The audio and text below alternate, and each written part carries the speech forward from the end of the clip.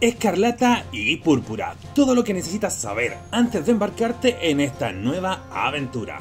Te lo resumo. Hola, hola Pokébola, sean todos bienvenidos a Ricono.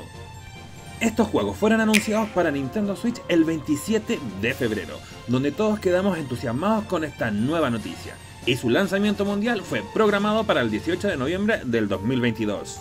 Estos juegos como nombre en español serán Escarlata y Púrpura y en inglés serán Scarlet and Violet. Y se van a desarrollar en una nueva región llamada Paldea, la cual va a estar basada en España. En esta aventura seremos estudiantes de una academia, la cual está situada en la ciudad meseta. Academia Naranja o Academia Uva, esto será respectivamente del juego que escojamos. Naranja para Escarlata y Uva para Púrpura en la cual se desarrollará nuestra aventura dando paso a la historia. En esta nuestro enfoque será buscar un tesoro, que es un proyecto extracurricular de la academia, el cual nos va a incentivar a la exploración de la región a través de tres diferentes historias, recalcando que las podemos realizar libre e independientemente la una de la otra. Y tenemos Travesía Victoria, Senda Legendaria y Vía Stardust. Travesía Victoria. Será el típico recorrido que hacemos por la región, derrotando a los 8 líderes de gimnasio, para obtener nuestras medallas y luego de eso podamos someternos al examen del campeonato. Y así conseguimos nuestro rango de campeón. Pero esta vez es algo distinto, ya que podremos ir a duelo con los líderes en el orden que nosotros queramos pero ojo, ellos no se van a nivelar a nuestro Pokémon. Eso quiere decir que si un líder está programado junto a sus Pokémon a nivel 40 y nosotros recién comenzamos la aventura y decidimos combatir, pues nada que hacer. Al centro Pokémon. A no ser que tengamos una super estrategia, lo cual dudo. Tenemos que mencionar que cada líder, antes de aceptar nuestro duelo, nos hará hacer algún tipo de mini reto. Senda legendaria. En esta segunda historia investigaremos y buscaremos ingredientes conocidos como especias ocultas, las cuales se usan para elaborar recetas beneficiosas para los Pokémon. En esta búsqueda tendremos que enfrentarnos a Pokémon dominantes, los cuales son más fuertes y de un tamaño más grandes que los normales. Vía Stardust. En esta tercera historia nos enfrentaremos a los malhechores de esta región tendremos que acceder a sus bases y derrotar a sus reclutas. También tendremos que vencer a los cabecillas de cada escuadrón, los cuales al parecer también nos entregarán medallas. Team Star. Como mencionamos son los malhechores y son una organización de villanos que opera la región.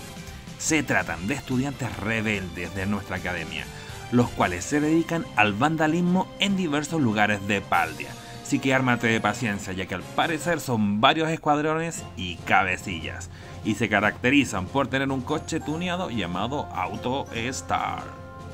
Con cada entrega también hay nuevos personajes.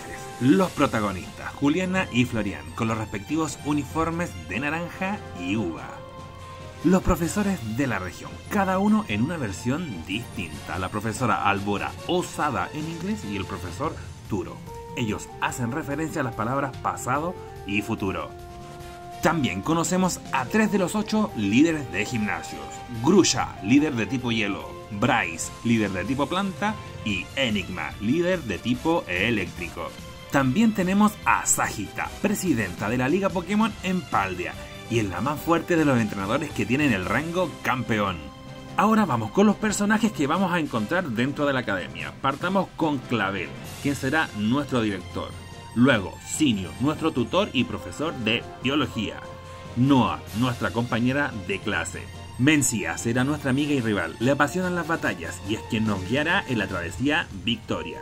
Damián será a quien vamos a ayudar en la senda legendaria y será un estudiante de un curso superior. Y por último, Melo, jefa del escuadrón Cheddar del grupo Fuego del Team Star los Pokémon. En total nos han revelado 23 nuevas especies. Los iniciales, el de planta es Prigatito, el de fuego fue Coco y el de agua Quaxly. Los legendarios Coraidon y Miraidon. Formas de Paldia, Wooper. Y otros como Smoliv, Lechonk, Paumi, Fidow, Setitan, Cyclizar, Graphite, Cloth, Cerulege, Armarouch, Wiglet, Farigiraf, Bellybolt, Greebird y Gimme Gold. Y es aquí donde entramos a las formas Paradox. Formas pasado y futuro, donde tenemos a Colmilargo y a Ferrodada. ¿Quiénes serían la forma pasado y futuro de Donphan? Y los Pokémon Paradox ocupan un número distinto en la Pokédex, al contrario de las formas regionales. Al parecer no tienen pre-evolución ni evolución. Como es costumbre, en cada nueva entrega llega una nueva mecánica y en Paldea es la teracristalización, la cual es un fenómeno que afecta a los Pokémon entregándoles una corona de un tipo elemental, les da una apariencia cristalina y brillante. Se podrá usar una vez por combate y una vez usada debemos recargarla con un orbe teracristal.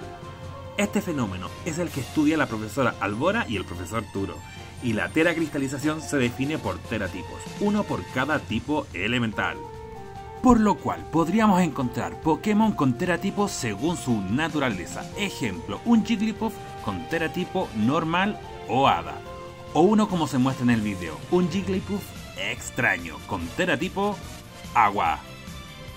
Las Tera Incursiones es donde podemos encontrar a estos Pokémon destinados a la Tera Cristalización. Es un formato de combate y podremos acceder a ello buscando los Tera Cristales a lo largo de la región nos permitirá realizarlos con 4 jugadores en modalidad remota u online. Poseen un límite de tiempo y es posible atacar al Pokémon sin prestar atención a los demás jugadores. Y ya tenemos programados dos eventos para Pokémon Escarlata y Púrpura. El primero corresponde a Eevee, que tendrá duración del 24 de noviembre al 27 de noviembre, donde Eevee va a aparecer con distintos tipos de teratipos. Y el segundo evento es Charizard. Tiene dos fechas, del 1 de diciembre al 4 y del 15 al 18. Y esta va a ser distinta, ya que va a ser con teratipo dragón. Este Charizard tendrá el emblema de la imbatibilidad, quiere decir que tendrá 7 estrellas. Solo podremos capturar uno por partida y lo podremos encontrar en cristales negros. Y al ser en estos teracristales será mucho más poderoso que lo habitual. Ahora vamos con las funcionalidades. El juego será de mundo abierto. No habrá un orden cronológico en la trama.